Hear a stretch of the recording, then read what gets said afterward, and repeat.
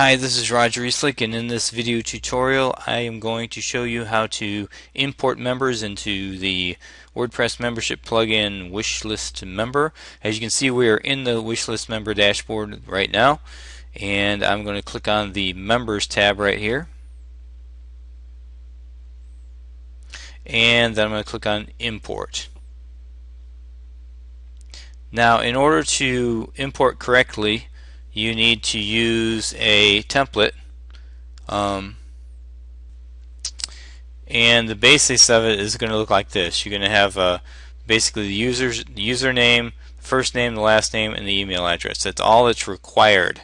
Um, you can actually you can also optionally put in um, the password a password for each user if you want to and the date added to a level, but you don't have to. You need to get rid of this line so that your um, such that your final file looks like this. It just starts out with names and that's all it is. It's in a CSV format and then you're going to go ahead and import the information. So what we're going to do is we're going to go ahead and and I'm going to choose the file under select CSV file.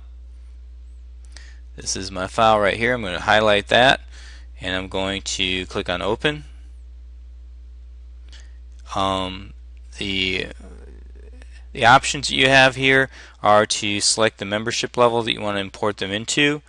Um, drop down box if you have multiples how to handle the duplicates.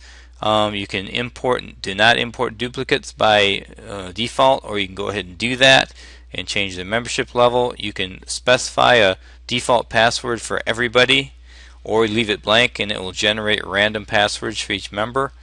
Um, and of course this field will be ignored if you put the information in the CSV file. Uh, you can by default send an email notification to users or you can opt not to but email notification will still be sent to new users with randomly generated passwords. We're going to go ahead and click on import members and after a few seconds depending I suppose on how many you've got you should come up with a says 50 new users imported no duplicates no errors. So you're good to go. If you look at under the manage uh, user member manage members I'm sorry you'll see that we now have a bunch of members in there. There they are all imported. This is Roger Easlick I uh, hope you uh, enjoyed this video Uh, have a great day.